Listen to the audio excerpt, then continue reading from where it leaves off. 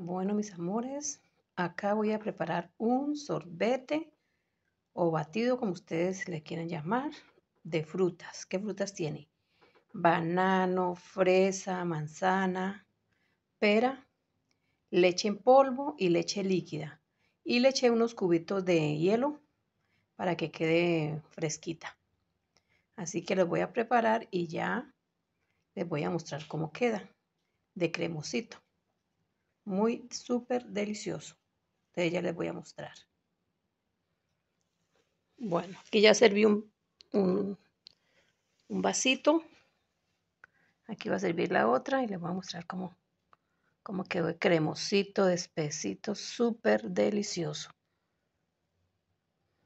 En estos jugos yo nunca sorbetes o como ustedes quieran llamar, yo no les echo nunca azúcar solamente la, la, el azúcar de las frutas y de la leche en polvo.